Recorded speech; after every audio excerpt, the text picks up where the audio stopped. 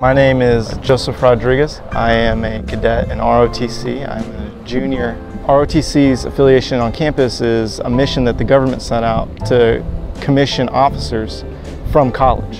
ROTC's IUPUI unit is actually fairly new in comparison to other colleges like IU or Purdue, but we have one of the larger ones in the area actually.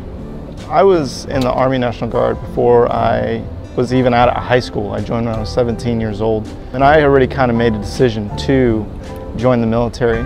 And it really hit me senior year after I came back from my boot camp. I just really felt like I wanted to become an officer. Through that, I was able to have a lot of good experiences with the Army National Guard and I learned a lot of stuff and I think it helped me a lot. And then going into my freshman year of college, I immediately started in ROTC and I kind of just swam with it.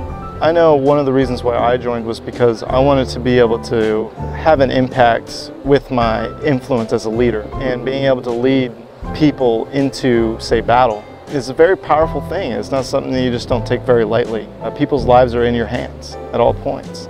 It's a good feeling to be able to not only help your soldiers that are below you and get them through another day, but also to help others with the things that you do. Army ROTC is an inspiring program because it gives individuals the ability to be a follower and then become a leader as you are in the program for longer. And so you get to kind of appreciate your leadership role and then you get to go do it for real once you're done here.